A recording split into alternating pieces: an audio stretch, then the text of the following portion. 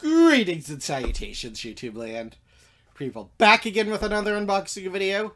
Today I have for you an auction win from one of the latest things Zobie is trying out. So Zobie is one of the best autograph companies out there. If you watch my videos, you've seen quite a few things from them. And recently they've started trying out something new where they're doing auctions on Facebook. Think they do them on Thursdays. They last about an hour or so. They've had, I think, like 15 or so lots up. The cool thing is, I was able to get this at an incredible deal. The bad thing is, well, number one, once word gets out, which I'm not helping my own cause, but hey, I do it for you guys. Uh, prices are going to go up as more people start getting into the auctions. And the other thing that's, uh, the auction wasn't run very well, I must say. If you've never done it, videos on Facebook inherently have lag. It's just built into it.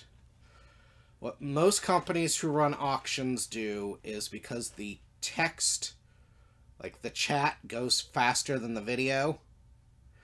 So they will put in, like, you know, 30 seconds left, 10 seconds, final bid, whatever, into the text so everyone can see it and it's clear on their end when people bid. The Zobie didn't do that. They weren't listening to us at all in the chat when we kept telling them and begging them to do it. So it was very difficult because I put in a bid on something literally when they started the 10 second count and the lag was so bad that it was already over on their end and my bid didn't count and it should have.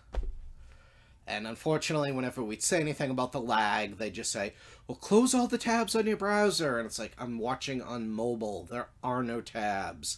This is all on you guys, not me. It's you. And unfortunately, they just wouldn't listen, so I missed out on literally like three things that I should have had because, like I said, it wasn't well run.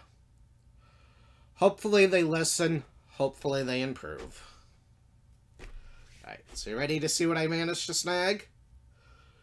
let's get ready for the unboxing. Shop, thank you. So the cool thing they did is if they had extras of some of the stuff, don't need they would sell them at whatever the auction price was. Unfortunately, everything I wanted they didn't have extras of, so that was a bit of a bummer. Let's see. I think this is just my invoice. Yep. Right, ready to see who it is? It's Moxley. Yeah, unfortunately, I wanted a Dean Ambrose one that they had. I that's the one I should have had, and they just yeah. Gotta let it go, but this was a really good deal. I only paid like 14 or 15 bucks for this. And it's uh, JSA certified. Which, that right there is probably as much, if not more, than what I paid for the photo, so... That worked out well. I do have one of him, but it's actually larger than what I usually collect, so I don't know what I'm going to do with it yet. But I wanted one of just him. Like I said, I was really hoping to get the uh, Dean Ambrose one, because I've been wanting one of those, but... Debs the brakes. So yeah, um, make sure you check out the uh, Facebook page.